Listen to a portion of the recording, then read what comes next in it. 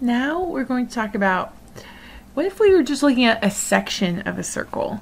So if you think about all the degrees in a circle, a circle is 360 degrees. So if I was just going to go a fourth of the way around the circle, so this is like a fourth of a circle, a fourth of 360 degrees is 90 degrees, which that looks like a right angle. That makes sense. That's a 90 degree angle. So a fourth of a circle, this section, this angle right here would just be 90 degrees. This looks like a Pokemon, but it's not. Gotta get my Pokemon. Um, this is a half circle, and if you think half of 360 degrees is 180 degrees, which this is a straight line, a straight angle is 180 degrees, totally makes sense.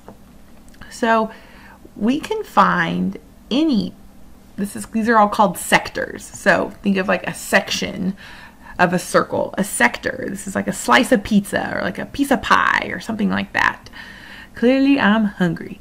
Um, so it's like a section of a circle is called a sector. So this is a sector and so whatever angle this is, so whatever this angle right here is, we can put that over 360. So for example, this was 90, that angle is 90. So 90 over 360 is a fourth. So that tells me that's a fourth of a circle. 180 over 360 that gives me a half. So it tells you what portion of the circle you're talking about. So whatever your angle is, it can be one degree, it can be 200 degrees, it doesn't matter. Um, whatever your angle is, you put it over 360 and that tells you what fraction of the circle the sector is covering.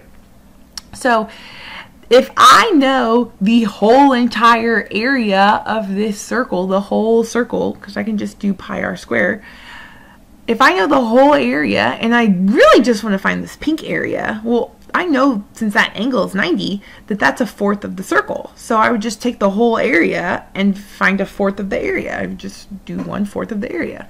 Or if I wanted to find just this orange area, if I knew the whole area of the circle, wouldn't this just be half of the area of the circle? It's just half a circle, so it's just half of whatever the area of the circle is.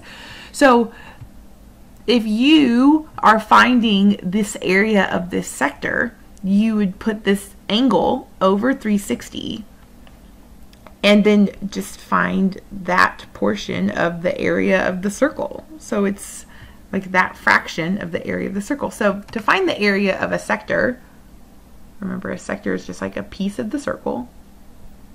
So if I just want to find just this purple area, and this needs to be the this is the center of the circle. So it can't just be some random point. This is the center of the circle. And this is your radius. The area of a circle is the area of the sector is found by either one of these two equations.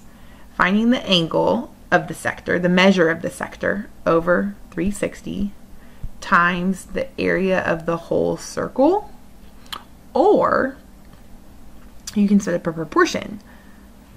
The area of the sector, so you can call it x or whatever, the area of the sector over the area of the circle is equal to the angle over 360.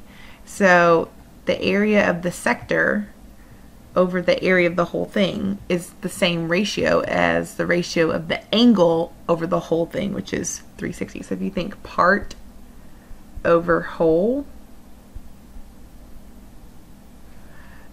the area of the sector is the part, the area of the circle is the whole thing. The angle of the sector is the part, 360 is the whole measure. So part over whole equals part over whole. I think this bottom proportion is a lot easier, but some people really like the top equation. Either one's fine, as long as you show me your work on your paper, we're good. So let's look at this example. If the circumference of the circle below is 10 pi, what's the area of the shaded sector? So I'm looking at this sector and I'm like, I don't know what the radius is. So it tells me right here the circumference of the circle. So circumference is 2 pi r. So I know my circumference is 10 pi, so I'm going to go plug it in for circumference. And so now I can, this is going to help me find my radius. So I'm trying to get the radius all by itself. So I got to get rid of this 2 pi. So I'm going to divide by 2 pi on both sides. And they're going to cancel, cancel, and then the pi's cancel out. And then 10 divided by 2 is 5. So our radius is 5. And then this white sector is 60 degrees. So all the way around is 360 degrees. So I can find this, this angle of this shaded sector by doing 360 minus 60, which is 300 degrees. Because 300 degrees plus 60 degrees is 360 degrees, which is the total all the way around the circle. So this shaded sector has an angle of 300 degrees. So I'm trying to find the area of this shaded sector, which I don't know what it is. So I'm going to call it x. So the area of the shaded sector over pi r squared, the area of the whole circle. Now we know our radius is 5, so pi 5 squared should be equal to the measure of that sector, so the angle, which is 300, over the total 360. So part over whole equals part over whole. I don't, I don't know the area of this part, that's why I'm calling it x, but I can find the area of the whole thing, pi r squared, and we just found our radius was 5 equals 300 over 360. So I can reduce this. I have x over pi. 5 squared is 25 pi. And then 30 over 36 reduces to 5 over 6. You don't have to reduce it. I just think it's easier. Um, and so then we're going to cross multiply. Gonna cross multiply. So 6 times x is 6x. So I take, I multiply the two numbers in one loop, 6 and x. Then I set it equal to, I'm going to multiply the numbers in the second loop, 5 times 25 pi. So 6x equals 5 times 25 is 125 pi. So then I'm going to divide by 6. Doesn't reduce, so x is just 125 pi over 6. So there's two ways that we can write our answers for these types of problems. If I say I want you to keep your answer in terms of pi, that means I want you to keep the pi in the final answer. So I'm not, I don't want you to press the pi button. I don't want you to substitute pi for 3.14. I just want you to write it exactly like this, 125 pi over 6. You can reduce and clean up and simplify the numbers, the coefficients and the numbers, but you are not touching that pi. You are leaving the pi simple. If I say in the directions I want your answer in terms of pi, I want to see a pi in your final answer.